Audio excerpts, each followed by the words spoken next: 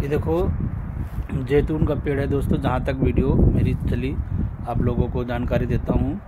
जो जैतून, बहुत तो कहते हैं जैतून का तेल।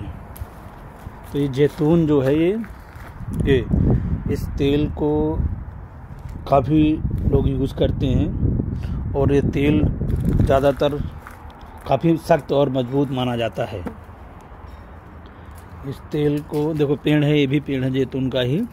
लोग कहते हैं जैतून का तेल बहुत महँगा है, बम्बई से लाए हैं, दिल्ली से लाए हैं। तो ये चीज़ है जैतून।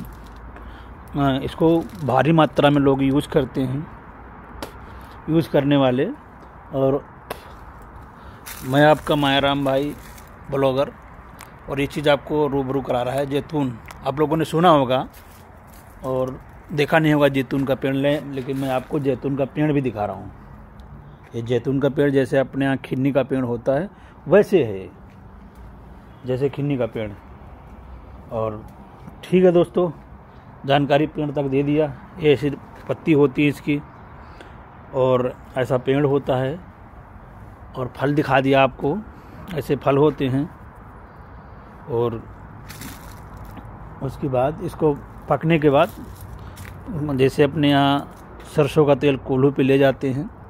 वैसे कोल्हू इसमें पेर, पेरा जाकर फिर तेल निकलेगा तो तेल कीमती है। इसको बोलते हैं तेल गांठों में, गांठ में, जोड़ में लगा लो तो काफ़ी मतलब मजबूती का कारण बनता है और मज़बूत करता है। इसलिए जैतून का नाम आप लोगों को जानकारी दिया, जो हम तक जानकारी थी। दोस्तों, धन्यवाद।